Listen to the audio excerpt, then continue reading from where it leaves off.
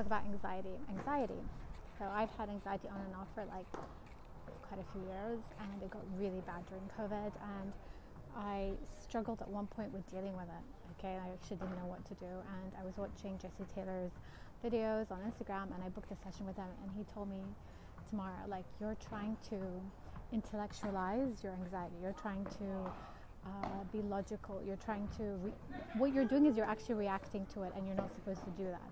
You're not supposed to give it importance. What you're supposed to do is allow it to play out, and not talk to it, not react to it. Because when you do that, you're telling the brain that it's important. When the brain no longer sees that you're reacting to it, it no longer gives importance to the anxiety, so it happens less.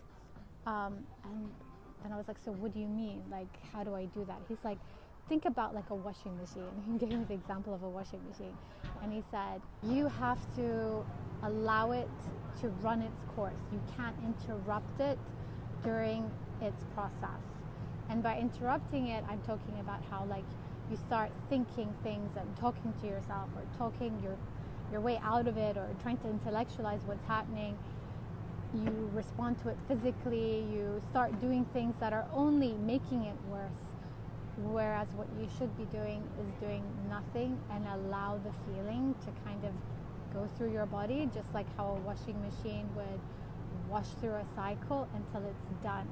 And when it's done, your brain thinks because it didn't res- you didn't respond to it that it is not important. Unless you engage with the anxiety by talking to it, intellectualizing it, reacting to it, doing things that are like trying to distract you from it, the more your brain thinks the anxiety is important because you're doing so much for it. Whereas if you just allow it to go through its process, your brain's like, oh, she didn't react to it, so it can't be that important. I don't think I'll do that again. Or even if it happens again, it's with less severity. Obviously, it's a process that you have to have the strength to go through every single time until it just decreases to the point where it no longer happens anymore.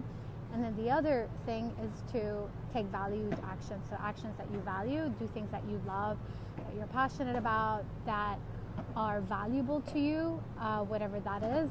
And then your brain thinks, oh, that's important. So, you're kind of tricking your brain into believing something else is more important than actions can be anything that you value or what means something to you. So, for example, like playing paddle or going to the gym, making a podcast, um, whatever hobbies that you have. Like, go and do something that you value because then the brain's like, oh, she's putting so much focus on that. That must be what's important to her.